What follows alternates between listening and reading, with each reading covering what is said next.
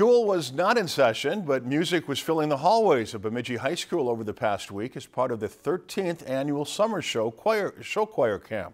Since Monday, 120 kids got to learn the basic fundamentals of show choir directly from members of the Vocal Motive Show Choir program. Campers worked on vocals, projection, choreography, and more. The camp wrapped up with a full performance featuring solo acts and a full routine. The camp has been credited to the ongoing success of the high school's award-winning program.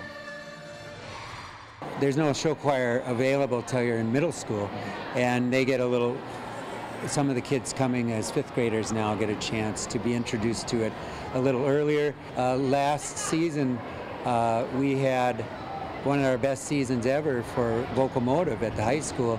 And I look back at our camp pictures, and almost all of our seniors last year were in camp uh, as youngsters. The camp's boundaries go beyond Bemidji with participants coming from the Twin Cities and from out of state. If you enjoyed this segment of Lakeland News, please consider making a tax-deductible contribution to Lakeland PBS.